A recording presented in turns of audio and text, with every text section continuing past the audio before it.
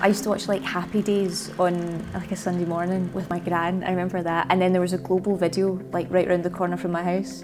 Um, and I used to just badger my gran to take me down there to, to get Police Academy. She was really obsessed with Police Academy. So she would um, kind of rent that time and time again. I think they should have just given us it. We must have rented about 40 times. Don't do that, Hightower! If you don't stop, you are out of here! Mister, I am warning you, Hightower! My dad has a yard down in Govan. Um, he's a mechanic and they used to put all the Taggart trucks uh, for filming in there.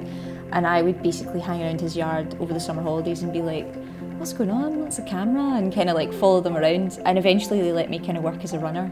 I was a terrible runner to begin with because I was like 15 and I couldn't drive and I couldn't make coffee. And I was meant to go and do like an engineering degree and kind of had like a proper job. Uh, but instead I was like, no, I'm going to be a runner.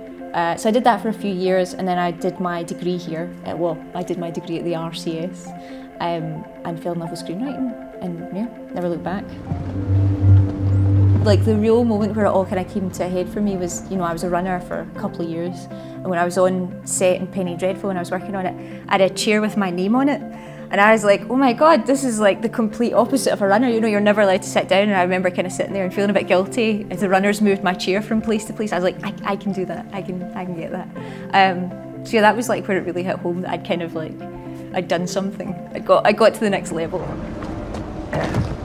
Where is everybody? Ain't nobody. Bloody fog, mate. I like that you can just kind of boundlessly imagine things and, and put them down and just hope for the best. And I really liked that I could do it in my pajamas. Um, and I didn't have to get up before like nine because like as a runner it's horrendous you know you're half five up on film sets you don't leave till seven at night you've like no no social life and uh, screenwriting is the exact opposite of that